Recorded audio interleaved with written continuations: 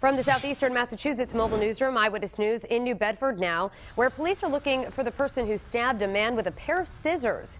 The alleged assault happened on Dartmouth Street early Sunday morning. Police say the 23-year-old victim was found outside an apartment there, suffering from two stab wounds following an argument with friends. He was taken to Rhode Island Hospital in serious condition.